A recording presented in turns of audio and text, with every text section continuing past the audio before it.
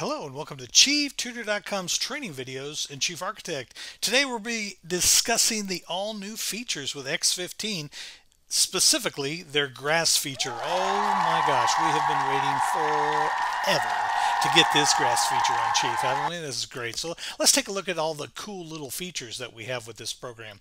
Uh, first, I'm going to take a little 3D uh, view of my model. I have a little house here. I've colored the grass dirt Remember that used to be that old color grass? so we're going to dress this uh, front yard up with some actual real grass. So let's go ahead and do that. If you go under the terrain tool, you'll have this new region called the grass region. Of course, you can do round kidney just like the garden beds and the water feature. So it's really neat. So I'm going to take the rectangular one. I'm going to kind of drag up near my house. I'm going to go right past my walkway, my walkway to my house, go all the way to my actual driveway and then down to my sidewalk here and let go. And it will immediately build the grass for me, which is really nice feature. And again, you can zoom in and see it's really doing a good job. It actually puts down a dirt level as well as the grass level. So Chief did a really cool job adding this feature. Now, when you double click it, you have some great options you can mess with, like the density, the minimum height uh, and max height, as well as the width and the curve. Like I could turn this curve up 45% on both ends. And what it does is it actually curves the grass even more so. So it's even more realistic. You can change the noise frequency in it. You can change the density of the grass. You can even change the color. Let's, let's go a little bit lighter on one of the sides of the grass. And you can really see it change. And again, they even have mow, like it looks like it was just mowed. which is a nice feature. Apply what you like and see how it goes. It's wonderful. I think it's just a great tool.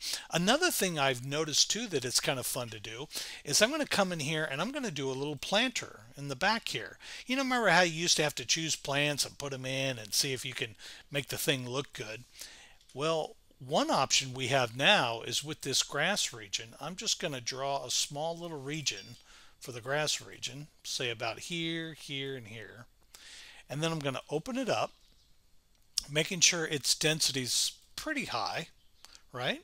We're going to take the max height. I'm going to go from 15 to 24 and there I have an instant bush that I could put a planter around. I could you know detail it out in any old different way.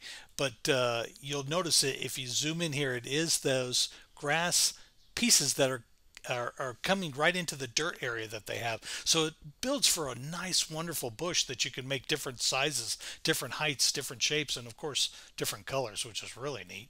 And then, of course, it's just as easy as taking a CAD line and we'll stick a little planter box around it.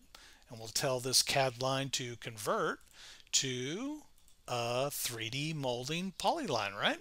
That sounds good. So we'll choose 3D molding polyline, click OK, and in the moldings tab, we'll make uh, make it like, I don't know, 4 width, maybe 12 high, vertical offset, I think we'll do like 2, negative 2, something like that. I don't know. There you go. And then uh, let's hit the spray button and look for our favorite brick color. And with Chief's little enhanced searching tool, that shouldn't be too bad. Brick, brick, brick. Find me some brick. Uh, let's see here. Mm -hmm, yeah, because what you did is you waited to see if Dave would make a planter out of brick. Oh, and of course it's going the wrong way, so we want to use our rainbow tool to adjust any brick and keep the pattern the same. And we will turn it 90 degrees and we have a instant planter box, which is just I think, amazing. So if we need to pull it out a little further, make it look a little more realistic, I'm going to pull it here, pull it there, pull it back there. And then we can add some regular plants like we've done here and just kind of spice it up a bit. You know what I mean? And we'll put a plant here, put a plant there and uh, of course you can increase the size increase the height on all these lowering the grass if you need to but pretty quickly you can make yourself a really nice planter box that's all filled up with grass or weeds whatever you want to call it. This has been messing with the grass tool here at chieftutor.com thank you so much for watching the video. I hope you enjoyed and learned something new and talk to you guys again soon